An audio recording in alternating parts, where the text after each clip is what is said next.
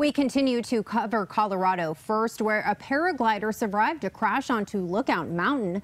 The mountain is said to be in good spirits after falling out of the sky near the Big M sign near the School of Mines. Firefighters secured the man in a basket and used ropes to get him to an ambulance. Poor weather is